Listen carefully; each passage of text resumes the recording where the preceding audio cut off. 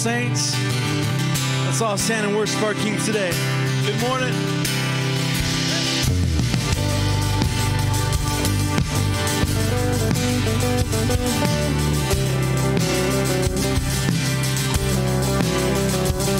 We worship the God who was. We worship the God who is.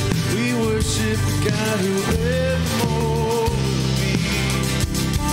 He opened the prison parted the raging seas. My God, He holds victory. There's joy in the house of the Lord. There's joy in the house of the Lord today. We shout out your praise. There's joy in the house of the Lord. Our God is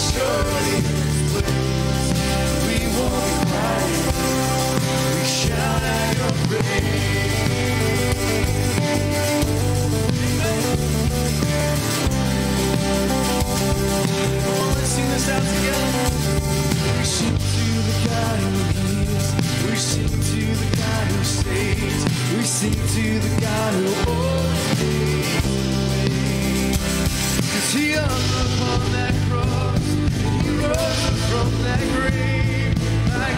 Lord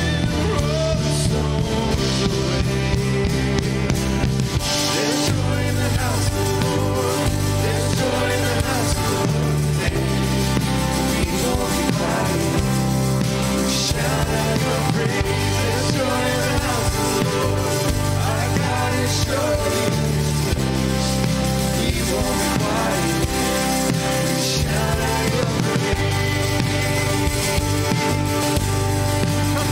Our King this morning.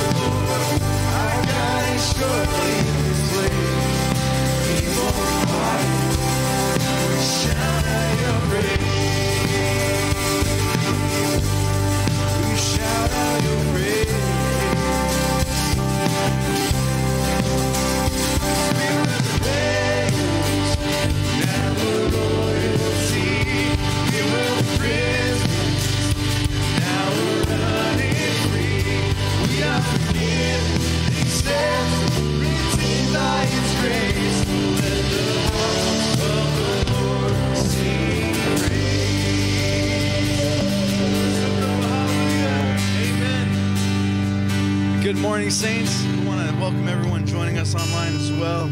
Let's all pray together. Father, we invite you here, Lord. God, we thank you for your Holy Spirit that's that's in us, working through us, Lord, conforming us into the image of the godly man, Lord. God, we pray for your Spirit to fill this place, Lord. Fill us to overflowing, Father. God, I pray that you would remind us as we're singing your songs and praising you, Lord, how faithful you've been through the years, how faithful you are right now. God, I pray that you would respond,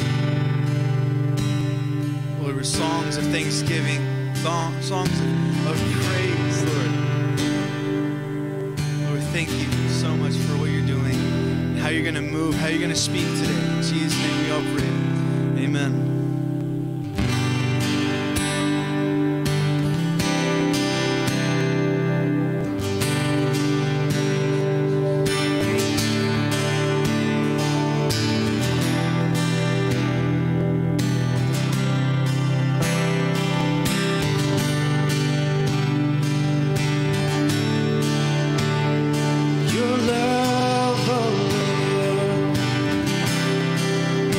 To the heavens.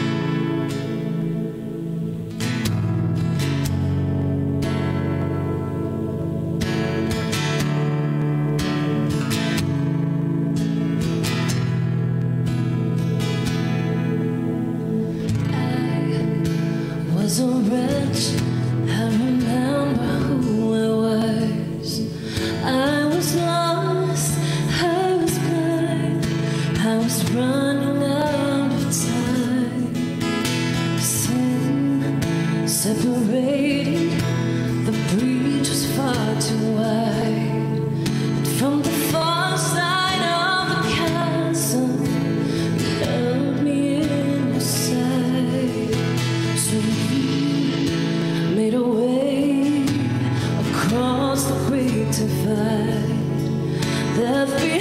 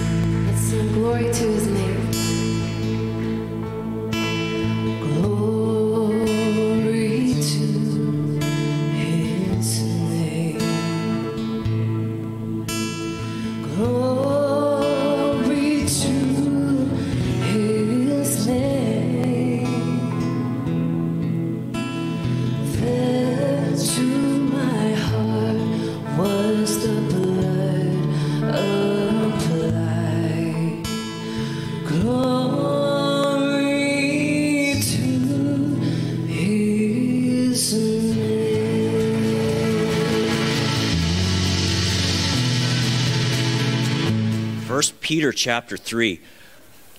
We've been in 1 Peter for quite a while now, and the series title is up on the screen. We're calling the study in 1 Peter Standing Firm in a Hostile World. Peter's writing to a group of believers that were suffering persecution, and Peter knew that this mild persecution was going to turn into a major, even life threatening persecution in the near future. So he wrote this letter to encourage them to stand. And so the first section, Peter teaches them to stand in salvation. And he reminds them that we all came into this world as sinners, that we're saved by putting our faith in the finished work of Jesus, and that after being saved, we're going to be challenged. We need to learn to stand in that salvation. And then the second section, Peter taught us to stand in submission. And it's so important that we remember this.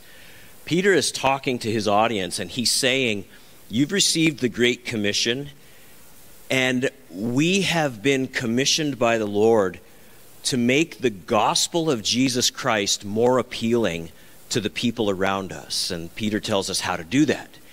He says it, it comes through submission. We need to be submissive people. So he says you need to be the best citizen you can possibly be. You need to be the best employee you can possibly be. Your home should be an example of the gospel. And then he says that within the church, there needs to be an understanding and an attitude of submission to authority. And so, Peter then last week brought us into this third and final section of his first epistle, and he exhorts us to stand in suffering. How many of you are so excited about suffering? Yeah, some crazy people out there. But none of us really love suffering. I mean, give you a choice of going to Disneyland or, you know, standing on a desert island baking in the sun, most of you are going to do something fun, right? That's just the way our flesh nature is. But Peter says, and look up at the screen because I want this to burn into your memory. He says, at some point, each of us, as born again believers, are going to encounter unjust suffering. We encounter that because of our faith in Jesus and then Peter says that the right response to unjust suffering always results in blessing. So that's what Peter's trying to teach us here in this, this third section. So let's do this as we have been. Let's stand and let's read our text together. Reason we stand is we want to give honor and reverence to God's word, respect to God's word. But it's going to be up on the screen. Let's read loud and let's read together beginning in 1 Peter 3:18 and he says for Christ also suffered once for sins the just for the unjust that he might bring us to God being put to death in the flesh but made alive by the spirit by whom also he went and preached to the spirits in prison who formerly were disobedient when once the divine long-suffering waited in the days of Noah while the ark was being prepared, in which a few, that is, eight souls, were saved through water. There is also an antitype which now saves us baptism, not the removal of the filth of the flesh, but the answer of a good conscience towards God. Through the resurrection of Jesus Christ, who has gone into heaven and is at the right hand of God, angels and authorities and powers having been made subject to him. Oh, wow. Father, in Jesus' name, we have before us a very challenging text, but a very fruitful text.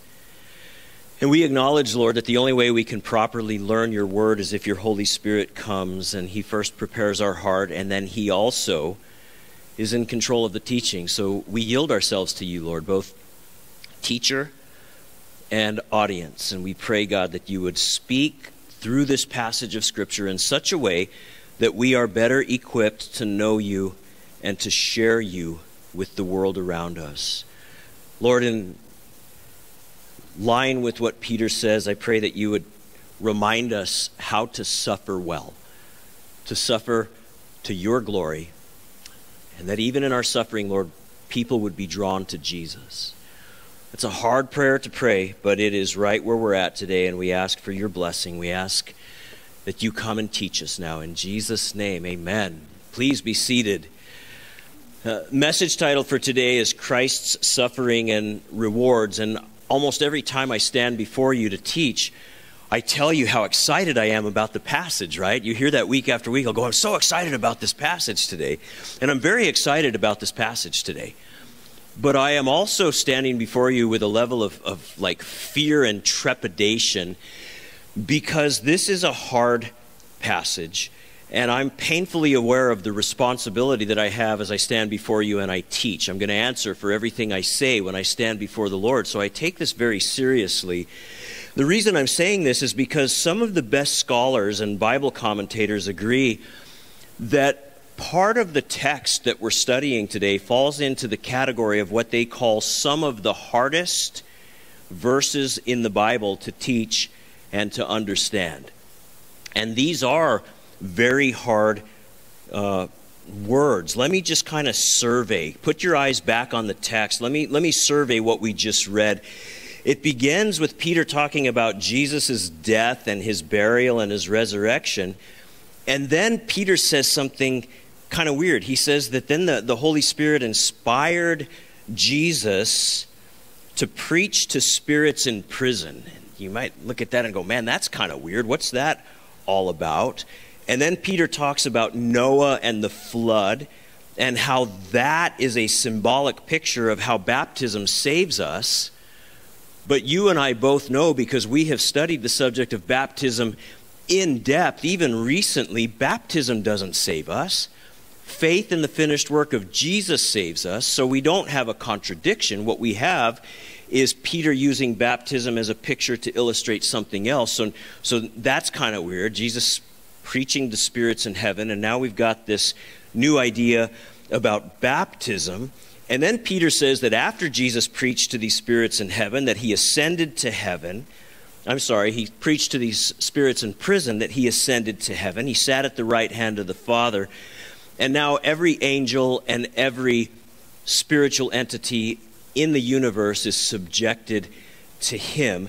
And some of us have probably heard a lot of false teaching on these verses. I'm going to tell you, this is what I said to first service is that I have heard so much false teaching that has come from these verses. If I had a dollar for every false teaching I've heard that came from these verses, I'd have my Harley. And it would have extra chrome on it, I'm telling you. The reason I say that is because a lot of men and women, people who handle the Word of God, sometimes don't handle it as carefully as they should. And when they come to a portion of Scripture like this, they don't do their scholarly homework. They don't dig. They don't study. They don't compare Scripture to Scripture. And then they read it and they say, well, this means this or this means this. And whether they mean to or not, they teach false doctrine and they lead God's people astray.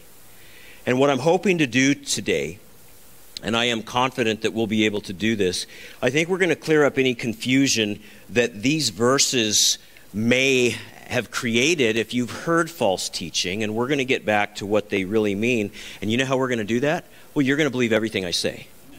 No, we are going to compare Scripture to Scripture. And then the Scripture is going to be the authority for what we teach today rather than my opinion or what I pulled out of a commentary or some really charismatic guy on YouTube. We're going to look at what the scriptures say. So let me give you an outline real quick. The question that I'm going to start with today is what do you say to people who are suffering?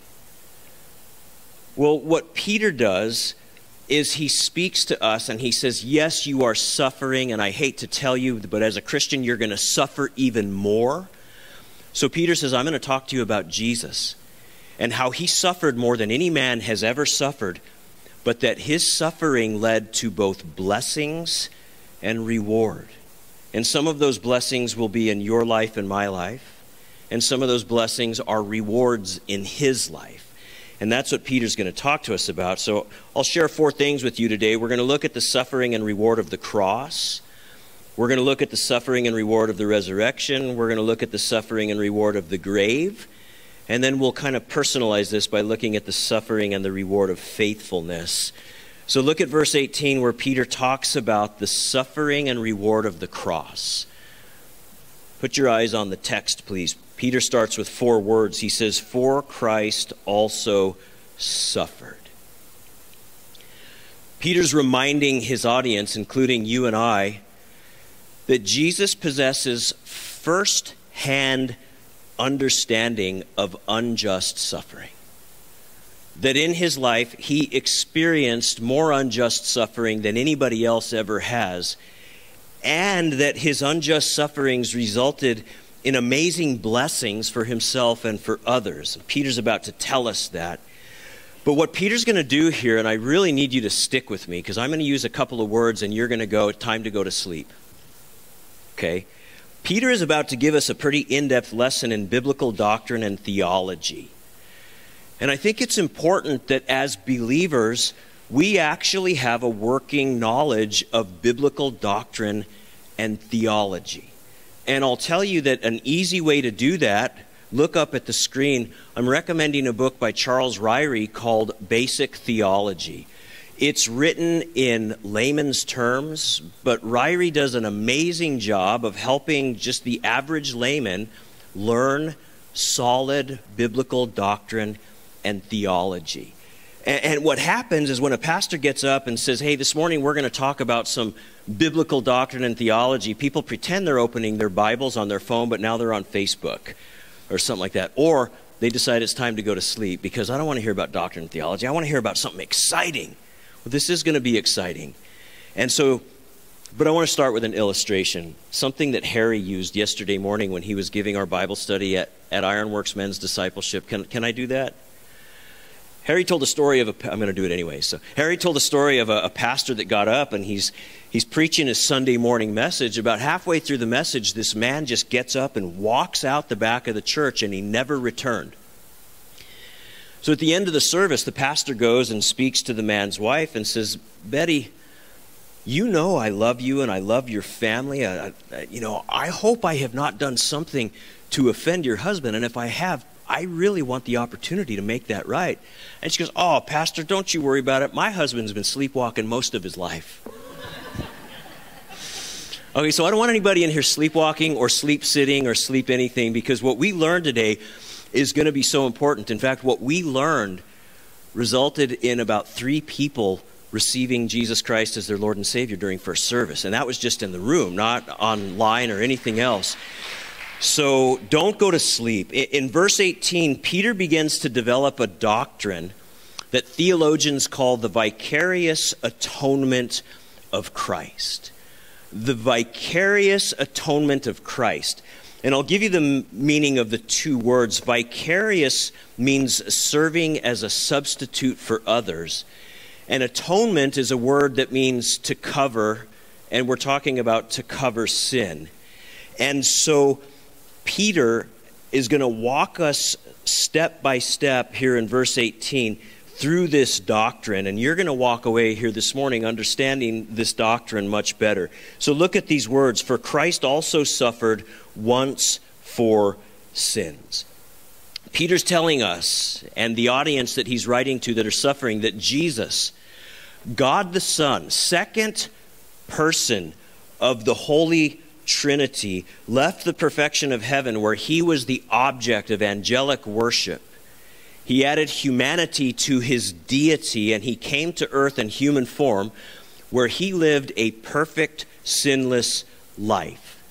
But rather than being received by the inhabitants of the world, he was rejected, he was ridiculed, he was falsely accused of evil, he was betrayed by a close friend, he was arrested, he was abandoned by all of his followers, he was beaten, he was mocked, and he was tortured. Now, the Old Testament prophet Isaiah wrote that Jesus was beaten so badly that he was no longer recognizable as a man.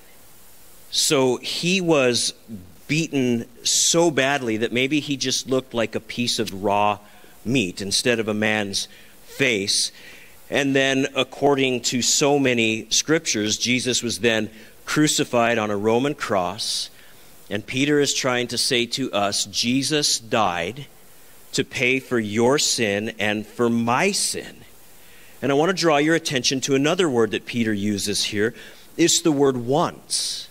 For Christ also suffered once for sins. Jesus teaches, I'm sorry, Peter teaches that Jesus' vicarious atonement for our sin was sufficient to appease the Father's wrath against us because of our sin. He suffered one time, and the Father now says, My wrath has been removed. My anger has been quenched. What Jesus did is sufficient. And I have to tell you that this is so liberating for people like me that grew up in the Roman Catholic tradition because we were taught that Christ's sacrifice had to be repeated again and again and again. And later, as I studied this for myself, I came to realize that the Mass, which is the church service that Catholics participate in, whether it's weekly or daily, it's a, it's a re crucifying of Christ over and over and over. And so, as a former Roman Catholic, I've been liberated by this idea that God's wrath against me because of my sin has been completely removed by one act of righteousness on Christ's part. And I want you to notice that, that Peter is telling us that once the Father was satisfied, that now we can be brought back into a relationship with our Heavenly Father. And it's interesting because Peter also touches here on, on the doctrine of propitiation. Now, I'm not going to get into it, but if you get Ryrie's book, you can study it for yourself. And it appears in other places in the New Testament. The, the idea is that God is satisfied with the sacrifice of Christ. So we can add nothing to it. We don't have to be religious. We don't have to somehow do good works to earn God's favor or anything like that. God looks at what Jesus did and he says, I am now satisfied. But it's interesting because I look at that and I think, how can the Father's, be, Father's wrath be satisfied when I continue to sin? How many of you have sinned since you got saved? How many of you just lied because you didn't raise your hand? Thank you. We've all sinned. We're, we're, Jesus died for sins past, present, and future. And look at what Peter says here. He calls him the just for the unjust. He's just, we're unjust. And I'll explain this. Adam and Eve were representatives of the entire human race, and together they brought sin into the world. And from them on, every human being who has ever been born was born under the curse of original sin. Everybody comes into the world a sinner and needs a Savior. Because of God's righteous requirements, He says, okay, one man sinned and brought sin into the world in order for that sin to be properly paid for, a human being has to pay for the sin. So that's why Jesus added humanity to his divinity, because a man had to die to pay for the sin of all men. And so Jesus was perfect. Peter says he was just. You and I are imperfect, we're unjust. And God sent Jesus as the perfect sacrifice to die in place of all of us imperfect people. And what's the result of all this? Keep reading. It says here that he might bring us to God, being put to death in the flesh, but made alive by the Spirit. And Peter says Jesus willingly suffered death and burial, and you and I received the gift of eternal life if we put our faith in his finished work. Jesus also, and we'll look at this in a minute, but he was personally rewarded with resurrection. You and I are given the blessing of the possibility of being forgiven for our sins if we'll respond to Jesus in the right way. So I want to talk about the application here because we've now had a theology lesson and we're now theologians, right? And theologians need to learn to apply what they learn. So the application here is Peter said that Jesus' unjust suffering resulted in blessing for the human race. And I'll just summarize it. Peter says this You can have the absolute confidence that when you leave this life and you cross over into eternity, we call that process death. When you die, you can have the absolute certainty that your sin is forgiven and that you're going to spend eternity with God rather than separated from God. Where does it come from? Being a good person, right? No, that's not what Peter said. Oh, it comes from being part of my denomination, a Catholic, a Baptist, a Presbyterian, or something like No, that's not what Peter said. It comes from helping little old ladies across the street. No. It comes from showing up at Calvary Chapel even when it's raining outside. No. It comes from putting our faith in the finished work of Jesus Christ. He was the just one who died on behalf of the unjust ones. And so I want to bring this to a question right now. We understand it, we understand the application. My question to you right now, saints, and those watching online at home, is do you actually have this confidence? Do you have the absolute confidence that if you got in your car at 12:30 or whatever time you drive out of here today and you pulled out of the parking lot and you got in an accident and you died, that you would stand before the Lord and He would say, Welcome into my kingdom. Now, I have that confidence, and it's not because I'm part of a denomination or a good person or anything else. It's because I have put my faith in the finished work of Jesus. His vicarious atonement for my sin has made me acceptable to the Father. Nothing less than that. So I ask you, Saint, do you have that absolute confidence? If you do, I'm going to just ask you to do one thing live your life in constant awe of the gift given to you and worship Jesus daily for what he did for you. Amen. Amen. It was neat. First service, I was back there on the side of the sound booth over where Kelly's sitting. And we got into one of the choruses of one of the songs, and I heard voices being raised from this side that were so loud that they drowned out the worship team for a couple of seconds. And I'm thinking to myself, they know they're saved. They're thanking Jesus for what he did. But listen, the other group, if you're here, you're watching online, if you don't have that confidence, as I'm describing the possibility of your death today, and you're saying, I, I don't know where I'm going, Pastor Randy, I'm, I'm not real sure about this, my second question is this. Do you want that confidence? And I can't imagine anybody would say no, so I'm going to just move forward as if somebody in the room shouted out, Yes, I want that confidence, and I'm going to tell you how you get it, and I'm going to share with you what's often called the Romans Road.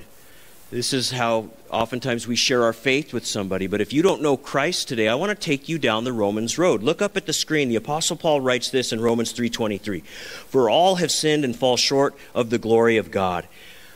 Paul just says this, we were all born sinners and, and we've offended God. We're in a broken relationship with God because we came into the world under the curse of original sin. So if you can acknowledge that, and if in your heart you have this desire to turn away from sin, Paul says, great first step. Romans 6:23. He says the wages of sin is death, but the gift of God is eternal life in Christ Jesus our Lord. Paul says if you die in your sin, the paycheck that you will get for living your life without having your sin forgiven, the paycheck for that is first of all the physical death that you'll experience, but then the spiritual death that you will spend your eternity, excuse me, you will spend your eternity separated from God in a place that the Bible calls hell or Hades. We'll look at it in a minute. But if you are forgiven, you spend your eternity with God, with Jesus in heaven. Okay? So he goes on in Romans 5 8 and he says, But God demonstrates his own love for us that while we were yet sinners, Christ died for us.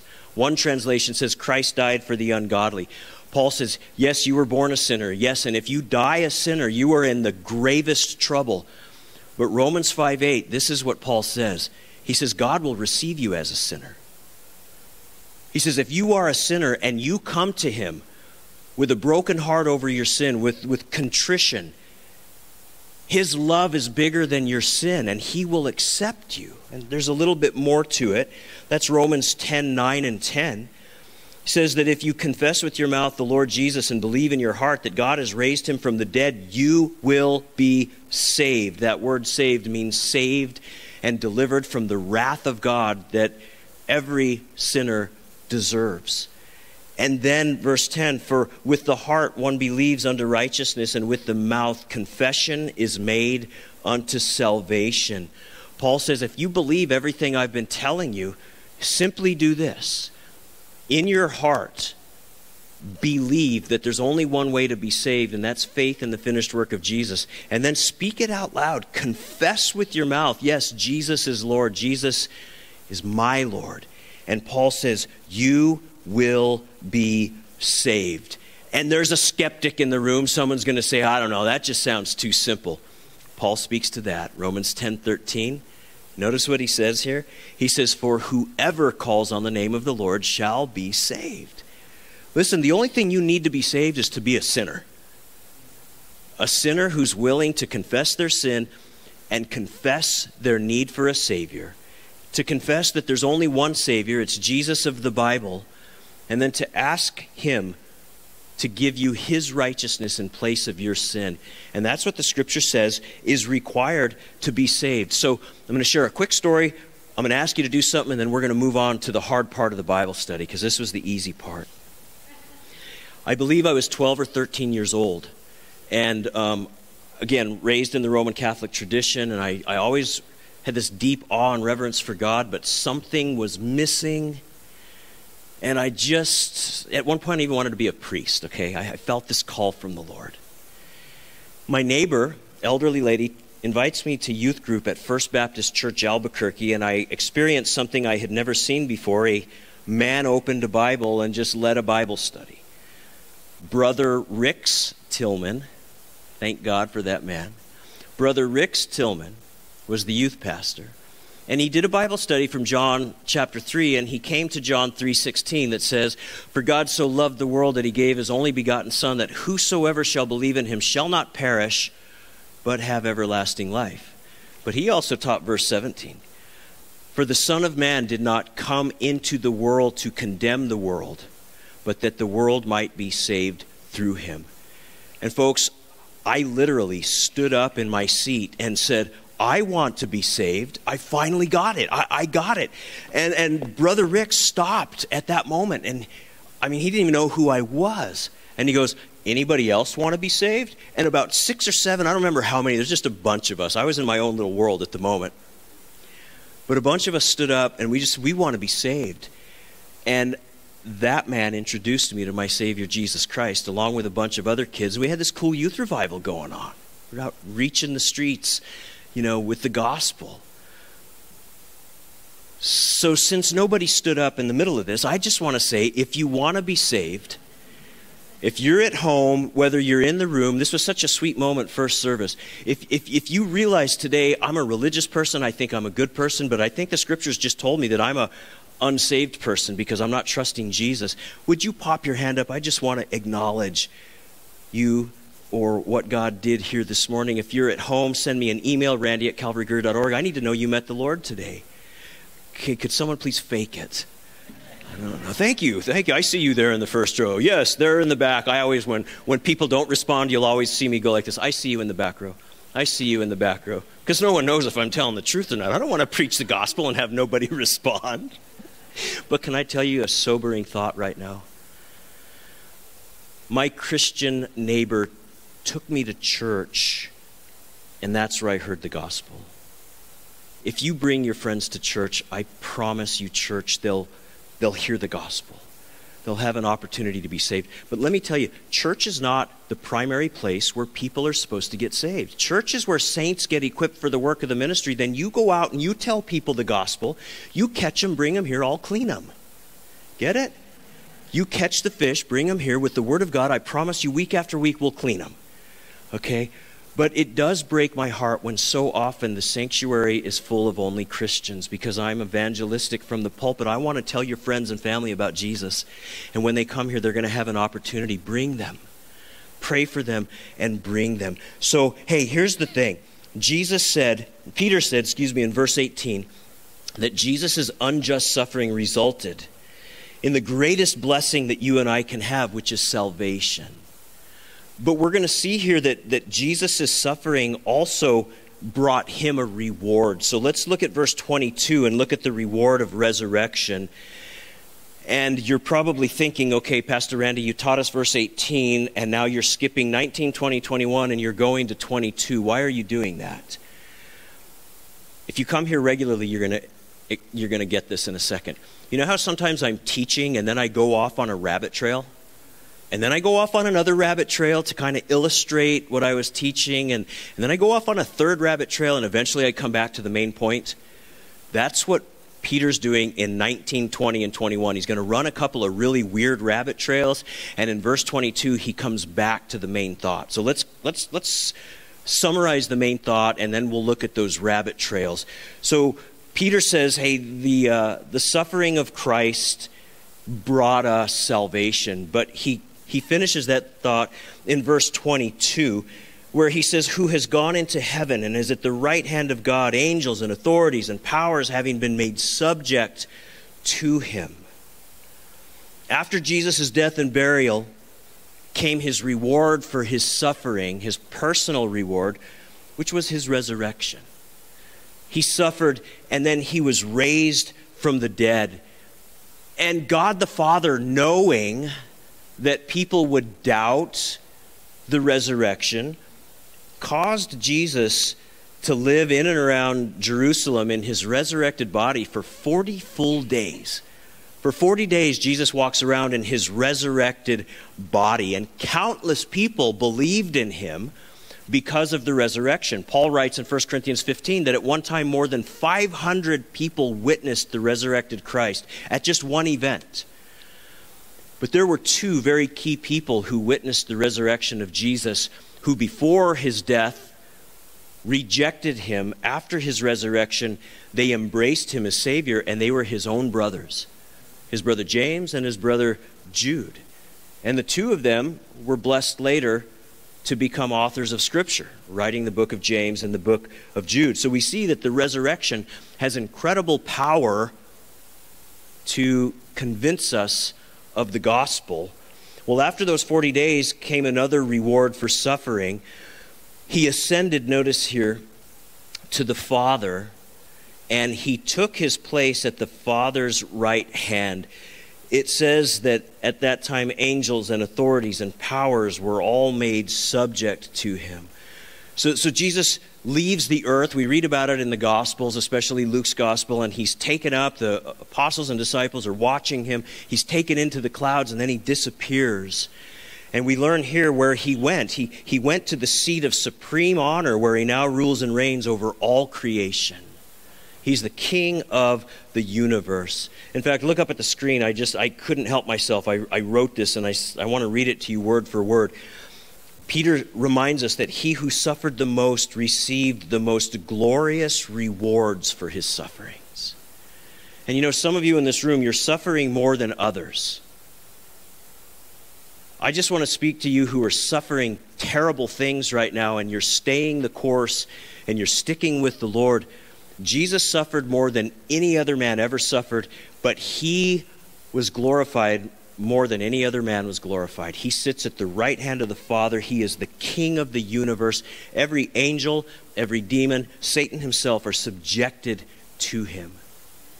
But you, you're going through some deep things. You need to understand that your suffering is going to result in incredible glory and blessings, both here on earth and especially in heaven. And just let me say one more thing and we'll move on.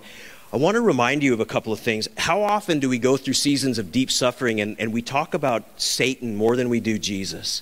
You know, you walk out after church and you're just thinking, what an amazing, amazing morning at Calvary Chapel. I got a flat tire. Satan's trying to steal my joy after a good church service, right? And we always want to say it's the enemy, it's a demonic attack, it's this and that. We see here, and we learn from the book of Job, that anytime Satan is going to work in our lives, he has to get the Lord's permission.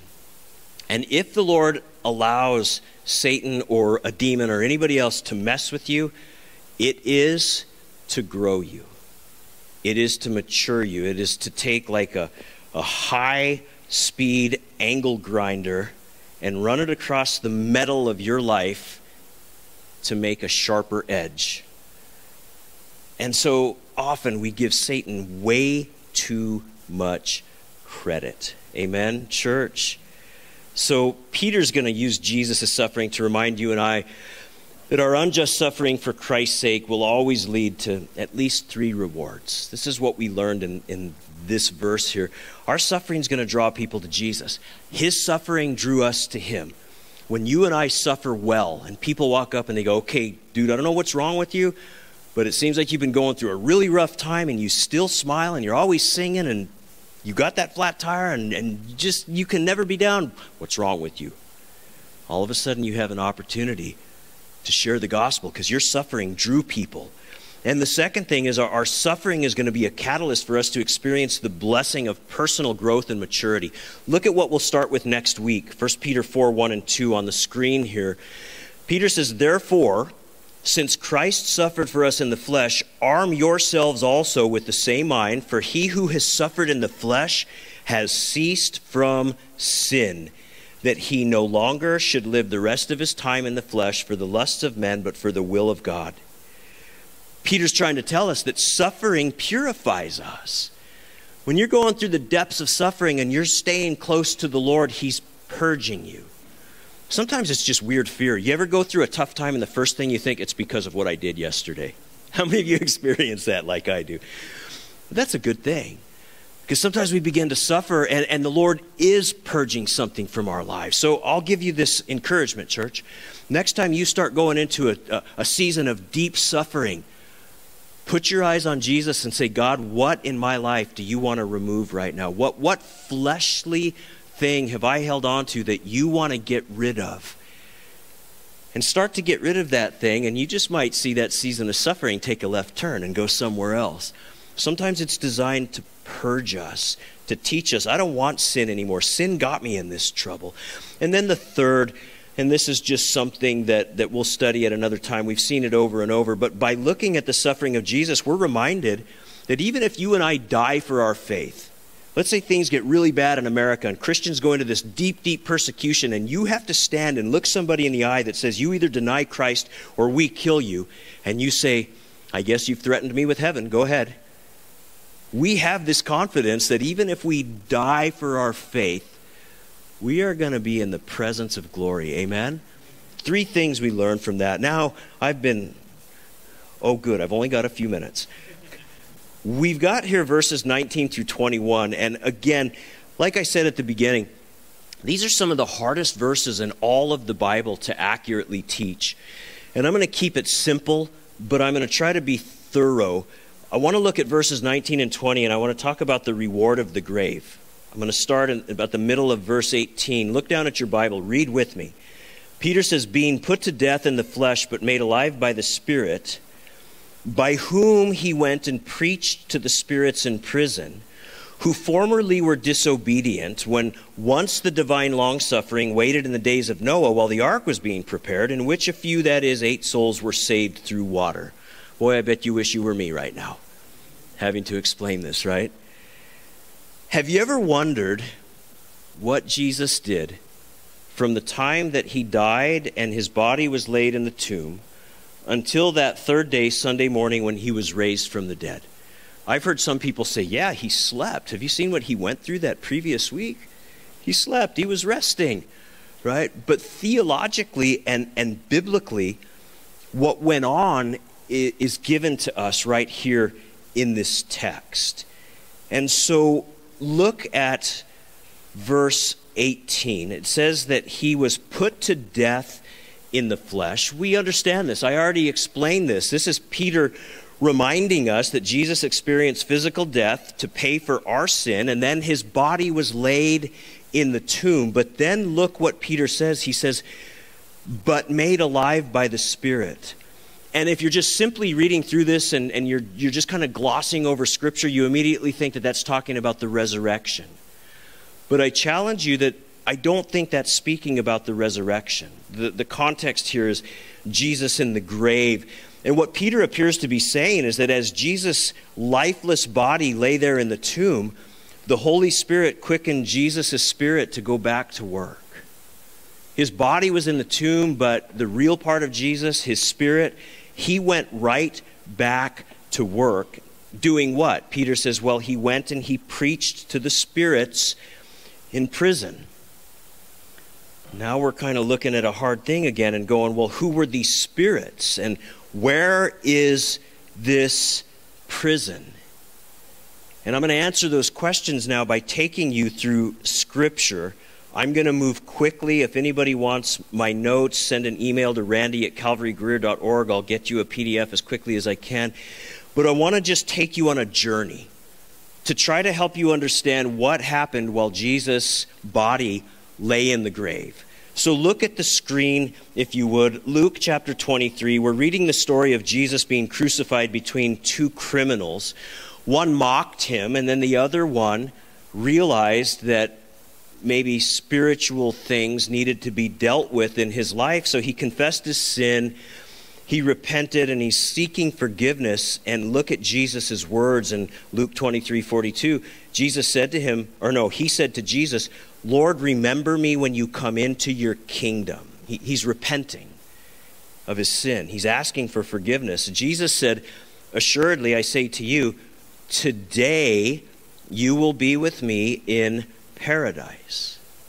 Now, Jesus didn't ascend to the Father until 40 days after his resurrection. So he can't be talking about heaven. This, this word paradise is not talking about heaven where God lives. The reason we know that is because under the old covenant, under the law of Moses and the old covenant, when human beings died, they didn't go to heaven or hell. They all went to the same place. It was a place called Hades, the abode of the dead. Those who died in faith looking forward to Messiah went to one side of Hades that was called Abraham's bosom. It was a place of reward and comfort. Those who died apart from faith in the future Messiah, they went to the other side called Hades. It was a place of torment and there was no hope. In fact, Jesus in Luke chapter 16 tells the story of the rich man and Lazarus, and he illustrates this for us. I don't believe this is a, a parable in the same way the others were parables because Jesus uses names here. I believe this is a true story. Look at Luke 16, 19 through 23. There was a certain rich man who was clothed in purple and fine linen, and he fared sumptuously every day. But there was a certain beggar named Lazarus, full of sores, who was laid at his gate, desiring to be fed with the crumbs which fell from the rich man's table. Moreover, the dogs came and licked his sores. So it was that the beggar died and was carried by the angels to Abraham's bosom. So just by reading that, we know that, that he was a man of faith. He had faith in the coming Messiah. But the rich man also died and was buried and being in torments in Hades, he lifted up his eyes and saw Abraham afar off and Lazarus in his bosom. So we see this rich man, he's got all the characteristics of a person who doesn't know the Lord. He didn't care for Lazarus, he didn't help the poor or anything like that. And, and because he didn't have faith in the future Messiah, he's carried to the other side of Hades, which is the place of torment. And if you went through, and you can read the rest of this on your own later, we don't have time. But one of the things that we see here is that the righteous went to Abraham's bosom, the unrighteous went to Hades, this place of absolute torment. From this story we just read, we read that the inhabitants of each compartment are still alive. They still have thought and feeling and emotion, and they feel pain or they feel pleasure. They have memories of earth, and they can actually see each other across a great chasm. And then later in the story, Jesus tells the rich man that once a person enters eternity, their eternal fate is sealed. If they end up in Abraham's bosom, that's great, especially for eternity. But if they end up in the other side, Hades proper, there's no second chance. There's no turning back. There's no, I wish it would have been different while I was alive here on earth. At that moment, both of these characters had sealed their eternal fate by what they believed while they were alive here on earth. And so when Peter says that Jesus preached to the spirits in prison, we've established what the prison is. The, the prison is Hades. But who are the spirits there in the prison? Back to 1 Peter, notice verse 20. It says here, who formerly were disobedient, when once the divine long suffering waited in the days of Noah while the ark was being prepared, in which a few, that is, eight souls, were saved through water. Now, this is where commentators just have all sorts of different things to say, and some of the worst false doctrines come out of this. Some people teach, and I've sat live under a man who taught this, that when Jesus died during those three days, he had to go to hell and be tortured by demons to pay for your sin and for my sin. But we already learned that his sin on the cross is what paid for our sin. His death on the cross is what paid for our sin. I'm so far ahead of myself. I need to take a deep breath here. Okay, total false doctrine, right? But what we do see here is that these spirits that Jesus preached to were present when Noah was preaching to his audience. And I'm not going to tell you I understand all of this. I'm not going to tell you I can explain all of this.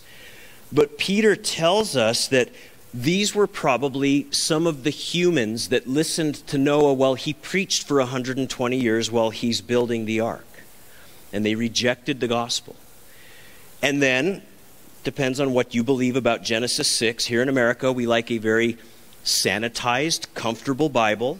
We want to be able to believe and explain everything, and we want it all to be comfortable. But Genesis 6 says that there was a time where the sons of God saw the daughters of men that they were beautiful and they went into them and out of this ungodly union came these giants called the nephilim hey i can't explain it i didn't write it but i'm going to tell you as i read it this is what i think happened is that there was this ungodly union between fallen angels and human women, and this race of giants were on the earth, and they were corrupting human DNA and all this other crazy stuff. And God looked down and said, It's not bad enough that man has the desires of his heart, only, you know, wickedness all the time, but now we got this weird race of people. I'm going to send a flood and wipe out the world. I'll just fix it with a flood. Okay, now again, I don't have time to get into all of this. I gave you just enough. But Peter tells us that Jesus descended down into Hades and he preached. And the context there is that those who had rebelled against God, who had rejected the idea of a coming Messiah, heard their final condemnation that Jesus said, You guys heard about this coming Messiah. Well, it's me. I just died on a cross to pay for the sin of everybody. But you guys rejected this message. You lived ungodly lives, and your fate is forever sealed. And, and unfortunately, when Revelation chapter 20 comes along at the end of time and Hades and death are emptied out, you guys are going to stand at the great white throne judgment, and then you're going to be cast into the lake of fire. And I bet his heart was just broken. But it's interesting because Paul talks about this. And it appears that Jesus, as he preached, he preached a message that condemned one group, but he preached what brought liberation to those who had died by faith. Look at the screen, Ephesians 4 8 through 10. Paul's writing, he says, Therefore, he says, when he ascended on high, he led captivity captive and gave gifts to men. Now, this he ascended, what does it mean? But that he first also descended into the lower parts of the earth. He who descended is also the one who ascended far above all the heavens, that he might fill all things. So, comparing Scripture to Scripture, it appears that Paul is saying also that Christ descended and he went to Abraham's bosom and he said, You guys died in faith. I've got a surprise for you. This is not your eternal destination. I'm going to now take you to the Father. And as he ascended to his Father, he led captivity captive and he brought all of these people into their eternal reward. Isn't that amazing? Now, it's hard to explain all this in one quick Sunday morning when I'm already long winded. So I'll let you guys dig into it on its own. I believe that this is the safest and most biblical interpretation of what Peter is talking about. It just completely fits the whole biblical narrative. And so let's wrap this up by looking at now the reward of faithfulness because we've been talking all about Jesus all about Jesus, everything he's done. Now, Peter wants us to maybe look at our own lives. And he says something that's highly controversial here. In the middle of verse 20 into 21, he says, Eight souls were saved through water. There is also an antitype which now saves us baptism, not the removal of the filth of the flesh, but the answer of a good conscience towards God. Again, a verse that has caused so much controversy in the church, there, there's a group within the larger body of Christ that teach a doctrine called baptismal regeneration. And what that means is simply that you're not actually saved until you're baptized. But what we've clearly seen by taking apart the scriptures, and if you want to see this for yourself, search our YouTube channel for one of two messages. One is called A Biblical Look at Baptism, and the other is called a demonstration, an outward demonstration of an inward transformation. Two teachings I've done on baptism in the last three years. We've clearly seen that baptism does not save us. Faith in the finished work of Jesus saves us. Every person in the scriptures that were baptized were already born again by faith in the finished work of Jesus.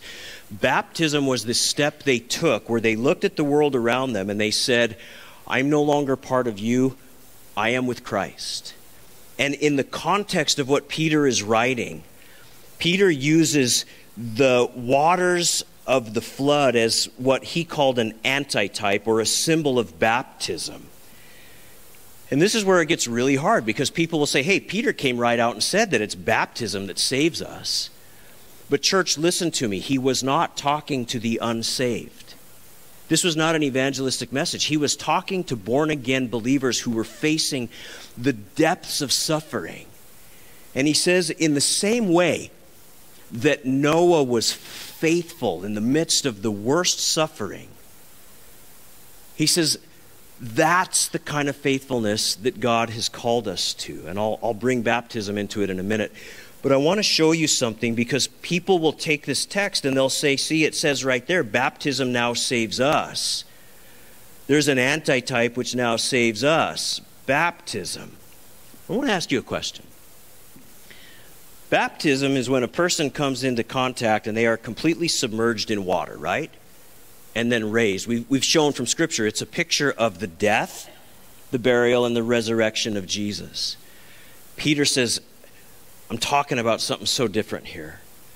Peter says, let's talk about the waters of baptism. When the waters of baptism came, they came to wipe out a rebellious human race and whoever these Nephilim were, right? Can you agree with me on that? Were these waters of, of salvation or were these waters of judgment? These were waters of judgment. And so Peter's not saying, hey, you need to be immersed in the waters of judgment in order to be saved. Peter's saying, Saint, listen to me. He says, Your baptism was not just this thing where everybody else in the youth group was going, Hey, I'm getting baptized. Are you? Yeah, what's baptized? Yeah, I guess I'll do that. Peter's saying, Baptism is this step in the Christian life where we say, I am so done with the old life of sin. I am being baptized into Christ and into his death and into his suffering. And Peter goes, Let's look at Noah. Suffering all around him. He's suffering the mocking of people, he's suffering the scorn of people. It's going to rain, Noah? What's rain? Okay. God's going to judge the earth with what? You call it rain? Noah, come on, all right? He was mocked and he was maligned just like Christ was, and yet he stayed until the very end.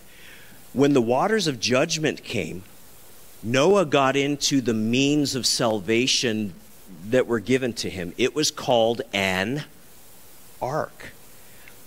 When the waters of judgment are coming towards an unsaved person, they get in the means of salvation that God has provided. It's called Christ. But to a believer, Noah is saying we don't take baptism lightly. Baptism is that picture of sticking with the Lord in the midst of suffering to the very end, so that, if you notice here, we have the answer of a good conscience towards God. He is not talking about salvation from sin.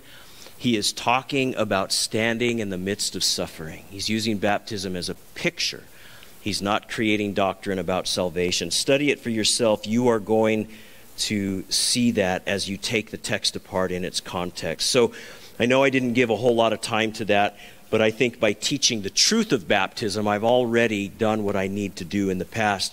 So let me give you four quick takeaways that you can apply to your life from this text, and then we will sing our closing song and we'll walk out the door and start suffering for Christ. Amen? But listen, four takeaways, because I think this is so important from this text. In verse 18, we learned about the vicarious atonement of Jesus Christ and how that is what made it possible for you and I to be saved and to live with the confidence of heaven. And once again, if you didn't respond before, but you know you need to be saved, put your faith in the finished work of Jesus. Pray a simple prayer like God, I know I'm a sinner. I realize I need a Savior. But that Savior is the one and only Jesus Christ of the Bible. So, Lord, I, am turning from my sin and I receive the free gift of forgiveness that you offer me in Christ. And I know my sin is forgiven, and now I ask you, fill me with your Spirit so that I'll have power to live and to, to persevere with you, God. And thank you for saving me. Something simple like that, and the Lord promises you will be saved. In verse 22, we learn that suffering teaches us to be done with sin. If you're in a season of suffering right now, just maybe take some time, get alone with the Lord, and just say, God, what is it that you're trying to purge from my life? This suffering has come, I believe, Lord, that I could persevere, but maybe you're cleansing me. Show me, Lord, that I can participate with that. Verses 19 and 20 I just want us to remember that we should rejoice that we were once a captive to sin, but we are now set free in Christ. We were like those prisoners, but we heard the gospel and we responded, and He saved us. Thank God for that.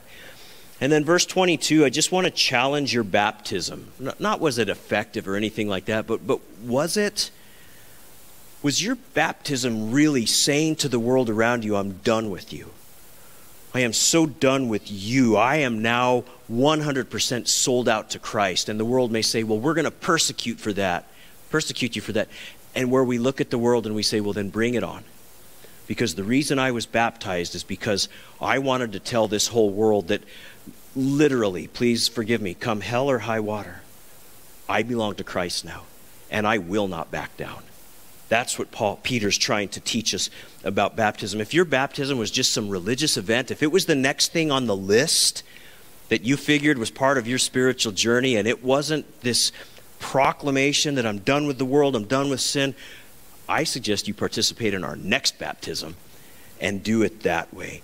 So, Father, today, such a beautiful portion of Scripture, just completely focused on the finished work of Jesus and the blessings and the rewards that have been given to us because of what he did. His death gave us life, his resurrection gave us hope.